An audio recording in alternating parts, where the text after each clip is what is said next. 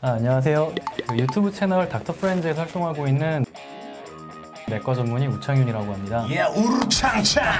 Wow. 좀 만취하신 것 같은데 장관님. 어, 한잔 하실래요? 일단 첫 번째로 특정 음식을 먹으면 실제로 해장 효과가 있는 건가요?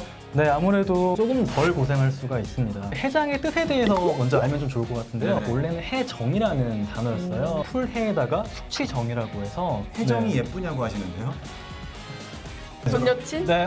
아, 아니면 제 와이프님은 이쁘신데. 어, 땀 삐질삐질 어, 흘리고 지금 사모님 계세요. 보시고 네. 계신가 봐요. 그죠? 네, 가까이 있습니다. 아, 여기 계시구나. 어, 어머, 안녕하세요. 죄송합니다. 전 여친? 네. 전 여친? 네, 괜찮습니다. 들어가는 게 같이 안 들어가는 거예요. 자, 그렇다면 네네. 해장의 원리. 먼저 네. 수치가 왜 생기는지에 대해서 알면 좋을 것 같아요. 네. 알코올이 들어오면은 그게 우리 간에서 아세트알데하이드라는 물질로 바뀌는데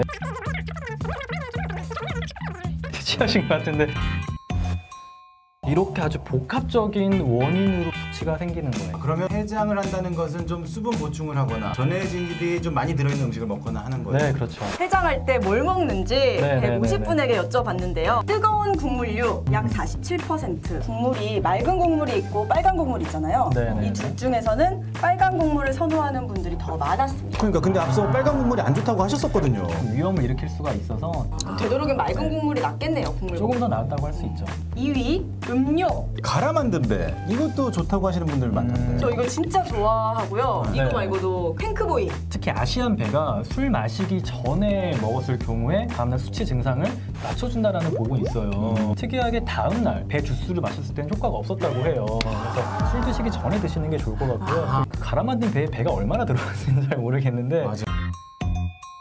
저거는 진짜 생과일 주스로 배를 갈아 먹어야 네. 술 마시기 전에 뭐 정성이죠 그것도 네, 음. 배를 갈아, 배를 갈아 드시면 어. 도움이 될 수 있어요. 다음으로는 3위는 기름진 음식이 11%. 기름진 음식은 좋지 않다고 하셨고 네, 근데 네. 걱정인 게 우리가 아까 외국인들 인터뷰했을 때 다들 뭐 타코, 뭐 까르보나라, 파스타 이런 것들로 해장을 하신다고 했는데 음. 이분들한테는 국물이 별로 없잖아요.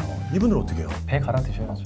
서양인들 걱정할 게 없는 게요. 그 독성 물질을 분해한 효소가 외국인들은 대부분 있는데 우리나라는 분해하지 못하는 분들이 30% 이상이 있고요. 다르구나. born to be 해장 능력이 있으시네 그냥. 그쵸. 자 그렇다면 지금 많은 음식들이 나왔는데 네네. 이 중에서 one top 아, 뭐, 아무래도 물냉면이 냉면.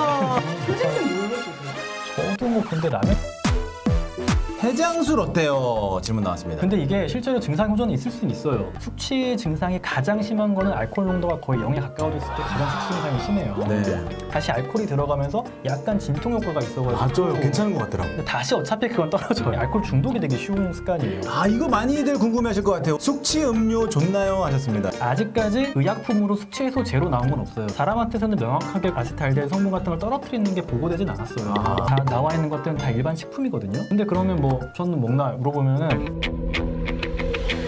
먹을 때도 있습니다.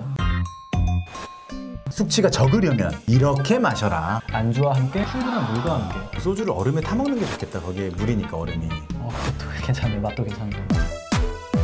자, 십간지님, 장성규의 해장 넘버원은 여러분. 무병장수하세요. 여러분, 사랑해요.